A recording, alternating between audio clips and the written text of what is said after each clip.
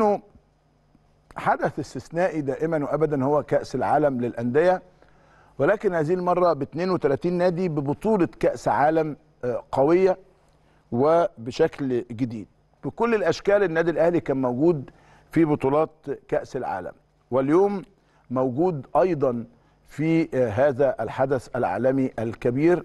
وممثلنا المهندس خالد مرتجي أمين صندوق النادي الأهلي هو اللي هيكون متواجد النهارده عندهم أعتقد لقاءات وحفلات عشاء وما إلى ذلك يعني لكنه في النهاية ناديك المفضل ناديك اللي أنت بتحبه اللي هو النادي الأهلي متواجد في هذه البطولة متواجد في هذه التظاهرة الرياضية. والنهارده لما بتيجي بتتكلم على البايرن وبتتكلم على الريال وبتتكلم على المان سيتي وبتتكلم على المان يونايتد و فخلاص بتقول الأهلي في وسطهم بمنتهى البساطة. حتى نطقها سهل حتى نطقها جميل حتى كده شكلها حلو حتى اللوجو بتاعها آه، جميل ما شاء الله يعني. وانت بتشوف كل ال- اللوجوهات بتاعت كل الأندية آه، حول العالم بتشوف دائما وابدا لوجو النادي الأهلي منور آه، في هذه ال- المظاهرة الرياضية ما بين مانشستر سيتي وريال مدريد وبايرن ميونخ وباريس سان جيرمان وفلامينجو وبالميراس وريفر بليت.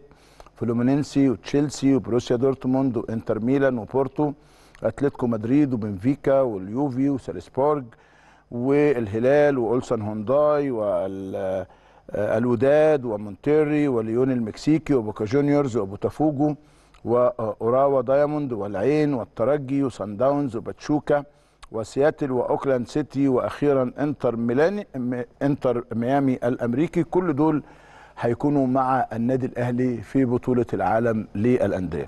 شرف ما بعده شرف. وارجع تاني أقول لك نظام القرعة عشان برضو تبقى عارفه واللي ما تابعناش امبارح. مفيش آه، مفيش أكتر من فريق من نفس الاتحاد القاري في نفس المجموعة.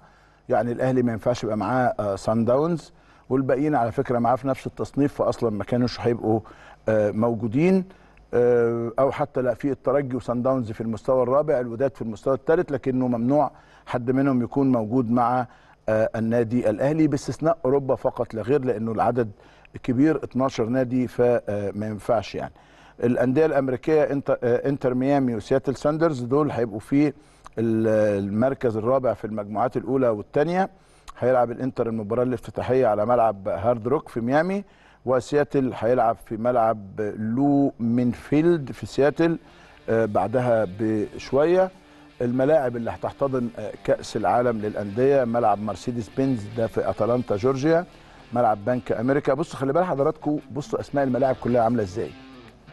وده اللي لازم وده اللي لازم النادي الأهلي يعمله أو بيعمله أو بيفكر فيه في الاستاد الجديد. يعني الملعب الأولاني مرسيدس الملعب الثاني بنك أمريكا الملعب الثالث TQL الملعب الرابع آه، روز بول. الملعب ال- اللي بعد كده هارد روك وبعدين جوديس بارك وبعدين ميت لايف وبعدين كامبينج وورلد وبعدين انتر آه، جوديكو لينكولن فاينانشال فيلد وبعدين لومن فيلد وبعدين اودي فيلد.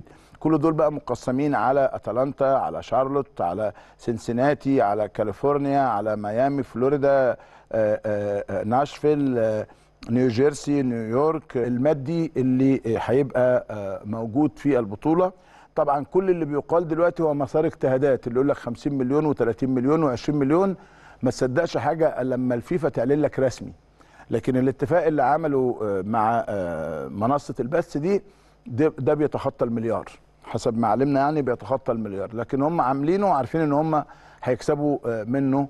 وهيبقى عندهم فائض أرباح كبير جدا يعني لكن هتقولي أقل حاجة إيه؟ 5 مليون دولار مثلا أقل حاجة 7 8 9 10 مليون دولار فهذا هو الشرف إنه حتى ده بيأهلك أنت كنادي أهلي إنه بيخليك.